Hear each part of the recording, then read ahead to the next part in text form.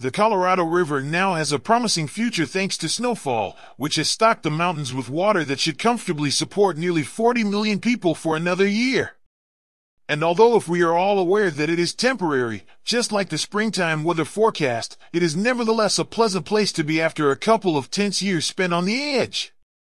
The Colorado Mountain Snowpack has increased the average amount of snow water equivalent held there to 158%.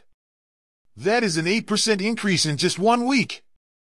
April will soon be here, and the prognosis for this week's end only calls for a little snow. Yet, the accumulations are astounding, reaching record highs from four years ago that were then followed by three years in a row with a percentage below 100%, including the pitiful 83.9% of last year. Don't anticipate Lake Mead to fill up faster because of the deep snow, if that's what you're expecting.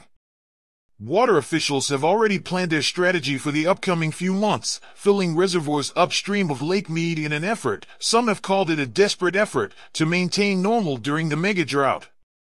According to climatologists who have been keeping an eye on the upper Colorado River Basin during the mega drought that started 23 years ago, water flow has fallen by 20% during the past 20 years.